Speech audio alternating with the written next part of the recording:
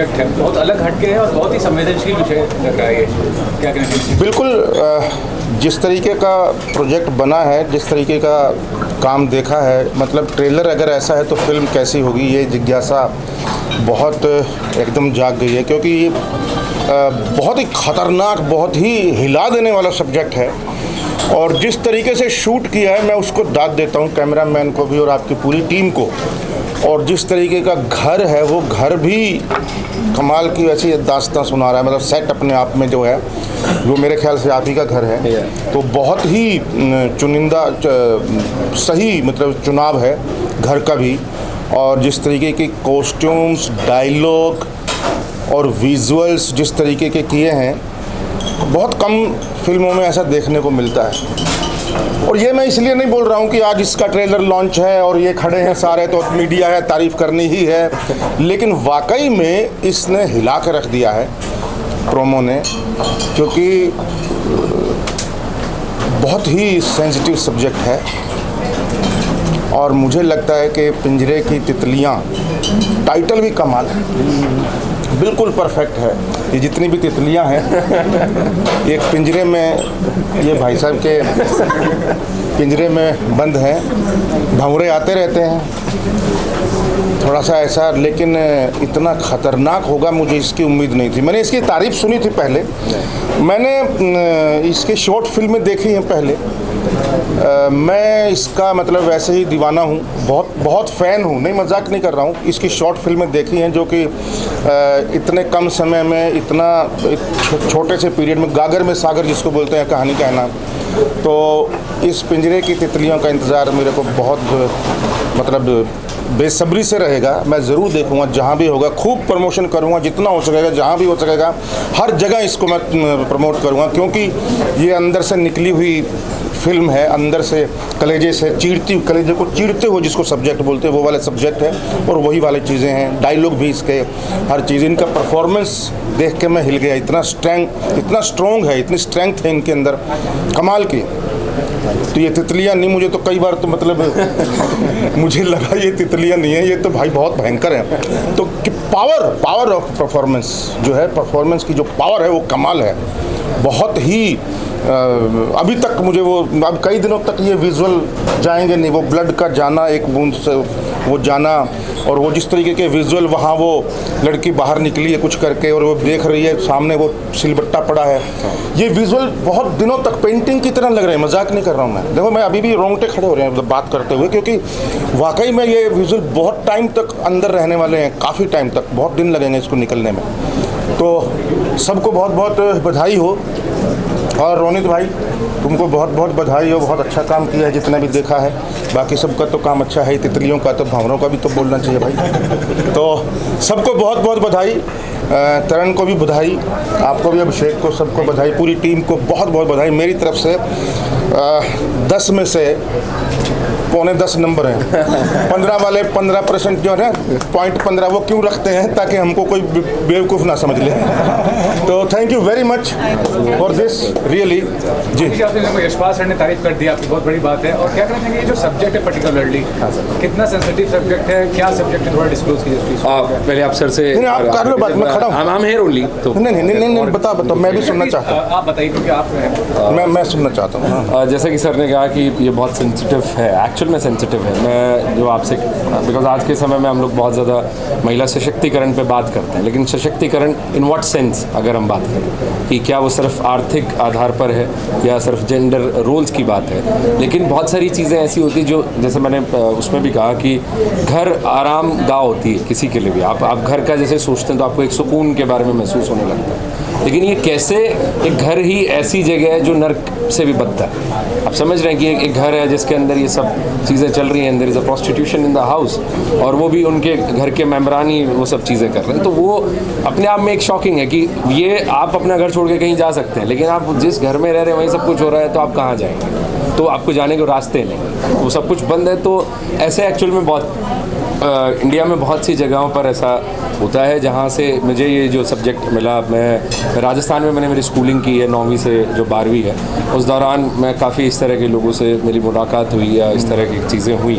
जिन चीज़ों ने मुझे, जब जो चॉइस की बात है मतलब जो मैं आगे नहीं बात करता हूँ, आज के हम चॉइस की बात करते हैं कि जो no means no yes means yes की जो एक एक पॉइंट है, उस पर इनके पास वो ऑप्शन नहीं है। ज़रूरी नहीं है कि कोई उस घर में रहने वाला व्यक्ति वही सब करेगा जो घर के बाकी लोग कर रहे हैं, लेकिन वो नहीं बैठना चाहती बट उसके सामने कोई रास्ता भी नहीं है कि वो हट भी नहीं सकती। मैं एक तो कॉम्प्लीमेंट देना चाह रहा हूँ एक कॉम्प्लीमेंट देना चाहूँ ट्रेलर देख के ही मुझे घुटन हो गई इस घर से। घुटन हो गई वाकई तो फ़िल्म देख के क्या हाल होगा? मतलब वो ये सही में बिल्कुल ऐसा लगता है जेल के अंदर है यार। क्योंकि आप इसको कोई भी बाहर का कुछ नहीं मिलेगा। ये हमारा चैलेंज ये था कि हम एक घर में कि आपको घुटन महसूस करा दें, कि आपको लगे, अरे यार, ये इससे बाहर कैसे आऊँगा बिकॉज़ हमारे कैरेक्टर्स भी बाहर नहीं आ रहे और वो कहीं उनको रास्ता भी नहीं तो that's the whole point sir ये भी कहना चाहूँगा इंडिपेंडेंट फिल्म्स और इंडिपेंडेंट फ़िल्म मेकर्स को सपोर्ट करना कितना ज़रूरी है क्योंकि यूनिट बजट बहुत सारी चीज़ें होती है जो फ़िल्म बनाने सर देखिए अभी मैं हरियाणा से हूँ एंड हरियाणा में रोहतक मेरा घर है। और सर खुद एक फीचर फ़िल्म बना चुके हैं यशपाल सर उनकी जो feature film that is in regional and Dada Lakshmi Chand. तो वो फ़िल्म इन्होंने बेशक ये एक नामचीन कलाकार हैं, यहाँ बॉम्बे में स्थापित हैं, सारी चीज़ें हैं इनके पास। लेकिन एक रीजनल पॉइंट पर जब जाकर आप काम करते हैं, उस मिट्टी में जाकर काम करते हैं तो वो मुश्किलें उधर भी हो जाता तो एक तरीके से इंडिपेंडेंट कलाकार ये भी हैं, अगर आप देखेंगे। तो जितना मुश्किल इनके लिए रहा होगा, उतना मुश्किल हमारे लिए भी रहा होगा। पर बात यह है कि आप अपने प्रोजेक्ट से झूठ ना भूलें because he was making a biopic I am also making a biopic for others मतलब मेरा ऑटोबायोग्राफी नहीं है इनके पास जो है वो भी एक कैरेक्टर का ऑटोबायोग्राफी है। लेकिन ये मुश्किल दोनों के लिए। बट इंडिपेंडेंट फ़िल्मों को सपोर्ट करना ये तो जनता के हाथ में अगर आप इसे देखें। बिकॉज़ क्रिएटर का कोई एक लिमिट नहीं होता। मतलब आप आपको आज शायद ये सब्जेक्ट आपने सोचा होगा बड़ा मुश्किल रहा होगा अभी कितना मुश्किल हो गया। तो बनाने में करने में उस प्रोसेस को। उतना मेरे और आपका भी बहुत हेल्प चाहिए। इसे बिल्कुल ये है। मतलब ये in in subjects public is the main मतलब अगर आप ये देखेंगे कि even even the media is is there कि अगर वो इसके बारे में बात करना चाहती है तो लोग भी बात करेंगे। तो मतलब वो इक्वल हम लोग एक ही पेज पर है ये नहीं है कि हमें कुछ ज़्यादा करना है या आपको कुछ कम करना है। तो हमें वही दोनों चीज़ें. या या प्लीज़ प्लीज़ मोहन खान जी। जिन्होंने खब्बी खान का कैरेक्टर किया and I am so thankful कि इन्होंने सिर्फ़ मेरा स्क्रीन प्ले सुनकर मुझे ये तितलियों के पिताजी। तो तो खब्बी खान जी ने मेरा सिर्फ़ स्क्रीन प्ले नरेशन के बाद ही सेड यस टू मी मैंने उनको वो सारी समस्याएँ बताई कि बिंग इंडिपेंडेंट फ़िल्म मेकर मेरे पास उस तरह से बजट नहीं है, या मैं आपको वो सब चीज़ें नहीं और आप कमाल की बात देखिए, हरियाणा में जून की गर्मी में हमने ये फ़िल्म किया। Which is like 44 to 45 degree of temperature 48 I think it was 48 सारा क्यों बता सारे- दिया? 48 भी बता दिया चैलेंजिंग था अरे वो वो मेमोरेबल है वो भूल नहीं सकते उन उन क्षणों को जो हाँ वो बिल्कुल हमें उस समय सर के लिए ट्रॉमेटिक लग रहा था सारी अच्छी फ़िल्में 48 डिग्री में ही होती हैं। लगान थी। लगान हो दादा लक्ष्मी हो तितलियाँ हो सब सब। तो this is the this is the hardcore की आर्टिस्ट का जो आपको एक सपोर्ट मिला and being a senior because मैं न्यू कमर हूँ and I am also like ठीक है मैं एक फ़िल्म स्कूल से पास आउट हूँ जहाँ सर ने हमारी शॉर्ट फ़िल्म को भी देखा है कभी रिव्यू किया because is also from Haryana लेकिन अब हम देखें कि हरियाणा से लोग निकल रहे हैं एंड इस लेवल पे काम कर रहे हैं। तो उसी में जब sir is is a very senior guy and is already working मतलब इन्होंने जो अभी करंट मीडिया में भी जो काफ़ी सारा काम कर रहे हैं उनकी फ़िल्में लव हॉस्टल आप अ, देख सकते हैं is already playing a great vital role तो इन्होंने काफ़ी सारे काम किए उसके बावजूद एक नए आदमी को सपोर्ट कर दिया। तो we are very much thankful to you कि सर आप आर्ट पे कोई बायस नहीं हो रहे हैं। कि मुझे क्या मिलेगा क्या नहीं। तो he is like I very much thankful आइए आप आइए। आप आइए। Gita. Uh, Geeta Saroha and she's playing the character of uh, Ruhi और आपने ट्रेलर में उनकी दमदार परफॉर्मेंस देख ही ली थी। ऐसा देखे और वैसे देखे बिल्कुल पहचानने में और मैं मतलब मैं बोल रहा ना हिला के रख दिया है। बोला तू मेरी बहन जैसी है और तू बहन चो क्या डायलॉग है यार? किसने लिखा है सैल्यूट है उसको। क्या बोल? नहीं सर क्या मेरी करतूत है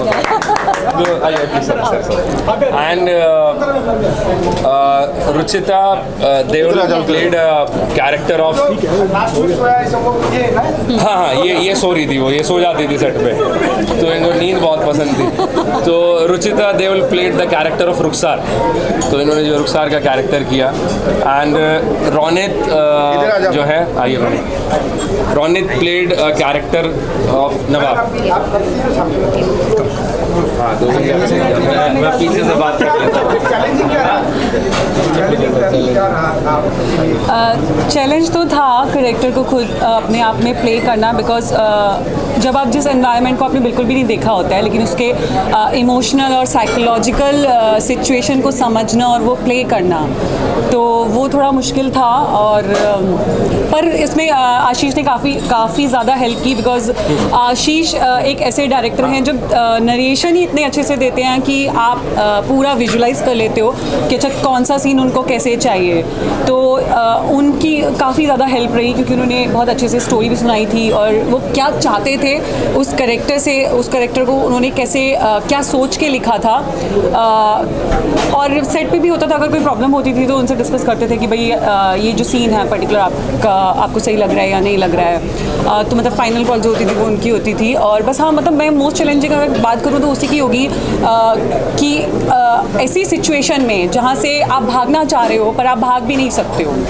बिकॉज़ प्रोस्टिट्यूशन एक ऐसी प्रोस्टिट्यूट जो होती है वो किसी की बीवी या किसी की गर्लफ्रेंड नहीं होती है कि उनके साथ कोई बहुत प्यार से सलूक कर रहा हो या कर रहा हो वो मतलब कैसा भी इंसान उनको मिल सकता है। तो उस उस ट्रॉमा को सोच के कि उस ट्रॉमा में वो जा सकती है वो ट्रॉमा वो साइकोलॉजिकल स्टेट वो इमोशनल स्टेट और उस सिचुएशन के आगे घुटने भी नहीं टेकने हैं रिबेलियस है उसको किसी भी तरीके से यहाँ से भागना है वो सारा अ, सोचा करेक्टराइज किया और प्ले किया बाकी देखते हैं कैसा लगता है बाकी सबको जब भी आपको जिस तरह से गेटअप घर में सबने तैयार किया मतलब मैं, जैसे आज जैसा गेटअप है चाहती है कि मैं अच्छा गेटअप सर वो तो गेटअप का तो ये होता है ना कि स्टोरी की जैसी डिमांड है आपको वैसे ही जाना पड़ेगा। वो सोया हुआ सीन अच्छा लगा इनको। सर सोने को बहुत कम मिलता था ना। बस सीन ऐसे मिल जाते थे जिसमें सोना मिल जाता था तो अच्छा हो जाता था। अच्छा वो जो गाली आ, वो मैंने दी थी तो मैम आप क्या कहेंगे? आपका जो कैरेक्टर था ज़बरदस्त फ़िलहाल तो बहुत चैलेंज था इसको लेके, इस फ़िल्म को लेके। क्योंकि मैं हरियाणा से हूँ, जाट फैमिली से हूँ।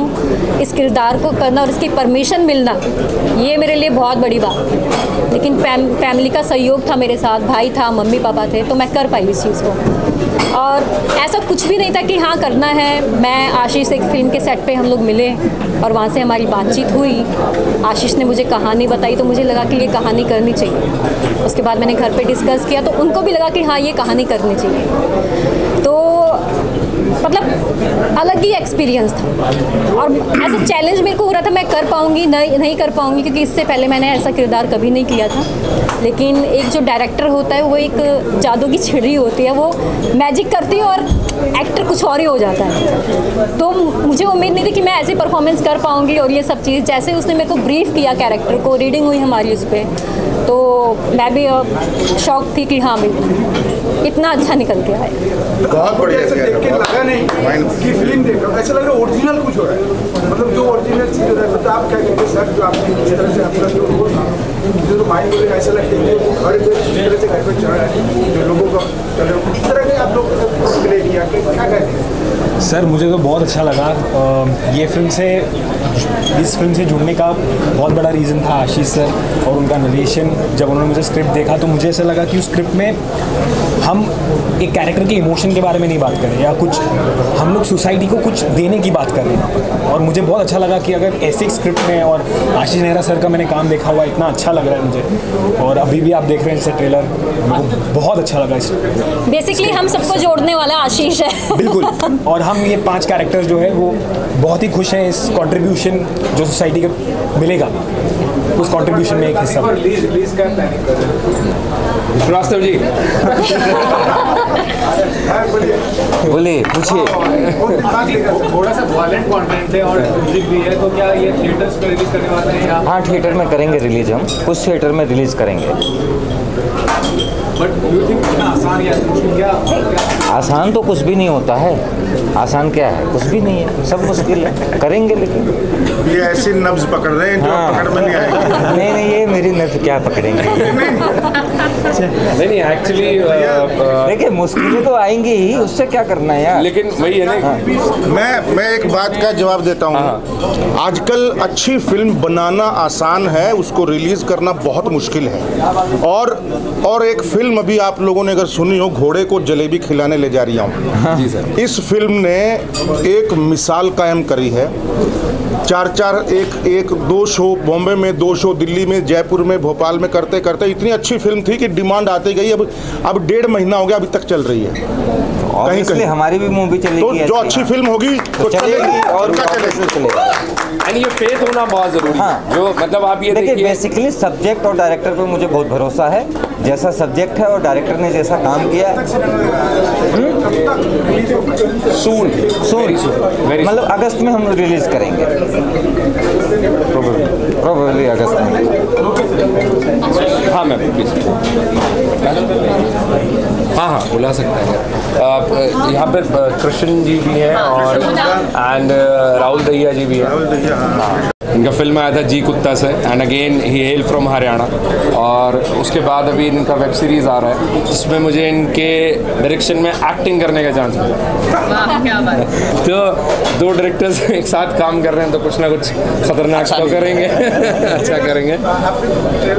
या ट्रेलर नहीं आप आप seen the trailer before also I always found it very very amazing and it's shot in in Rohtak I think हाँ in Rohtak in Rohtak I I am actually looking forward to I keep asking him to show me the film पर बोल कि पंद्रह दिन में दस दिन में they going to show us the film trailer is just something which makes you feel like watching the film Yeah. That's what What- happened to what- me and I am looking forward to watching the film it's very beautifully shot and performances are like super हाँ वो वो वो देख रहे हैं इनकी तरफ़ कि अगले में हम कास्ट होने वाले हैं। Okay, my, my best wishes. Thank you, To the you. entire uh, team. Thank you so much thank you so much Another talented director is here. Uh, we would like to hear. जी कृष्ण हुड्डा आ, sir की फ़िल्म में मैंने काम किया है आ, मलोटा और जो हमारी फ़िल्म फेयर में नॉमिनेट भी हुई थी और वहाँ से मेरी इनकी मुलाकात है और मैं इनको जानती हूँ वो काम करके जो मैं हरियाणा से हूँ और मुझे नहीं पता था कि मलोटा का मतलब क्या होता है मलोटा का मतलब इन्होंने मुझे बताया था तो अभी ये बताएँगे कि आपकी फ़िल्म का ट्रेलर आपने देखा है तो आप क्या हाँ ये कृष्ण हुड्डा जी हैं इनकी पहली फ़िल्म में मैं भी था बहुत बढ़िया फ़िल्म है रजनीश के ऊपर भी इन्होंने एक फ़िल्म बनाई थी rebellious flower the rebellious flower it's a feature film जो अ, अ, रजनीश ओशो पर उन्होंने फ़िल्म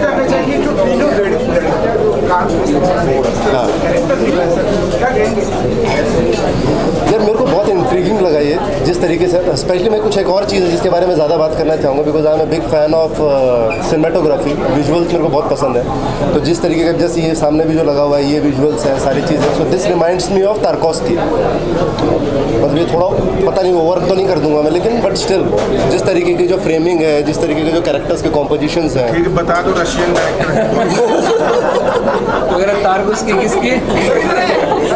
हाँ। नहीं नहीं वो ही इज़ एब्सोल्युटली राइट हाँ, so मैं मतलब पेंटिंग की तरह मैं बताया बिल्कुल सही बोल। रहा हाँ तो वो पेंटिंग जैसा ही फील आ रहा था जिस तरीके से कंपोज किया है कैरेक्टर्स को सारी चीज़ों को। सो वो मेरे को पर्सनली बहुत इंटरेस्टिंग लगा।